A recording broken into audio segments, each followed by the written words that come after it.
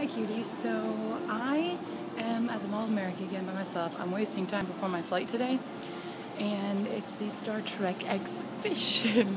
So I got in here. Look. Oh my gosh. I just took a picture with Worf, but they're allowing people to take pictures in here because their photo booth stuff is down. So it's like perfect. So I'm sending all these pictures to my dad.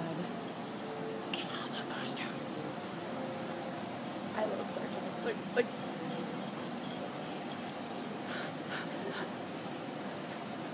I'm very excited. I would wear that. I'd be a Klingon officer. I love Klingons. So, I'm really happy that I get to be here. Look at all the uniforms. And there's the back. Let's check out the Klingon. Look how awesome you can sit in the chair. This is really cool. So I'm I'm gonna take more pictures for my dad because he's he's the one who raised me on Star Trek. I'm all blue.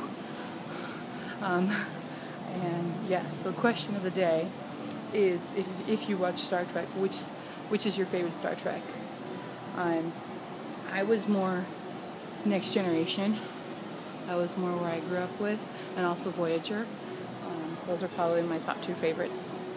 Um, and, and Worf is my favorite character. I love Worf. I love him so much. okay, I'm gonna go now and enjoy more of Star Trek Exhibition. Sorry, Daddy, that you can't be here with me. You want to see Worf? I'll give you a, a look at Worf. I've kind of already passed him, but he's down around this corner. It's just a, oh, here's sick bay. there's Data's outfit. But Worf, Worf is over here.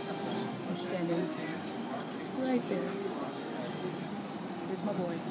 That's my boy. So I'm gonna go.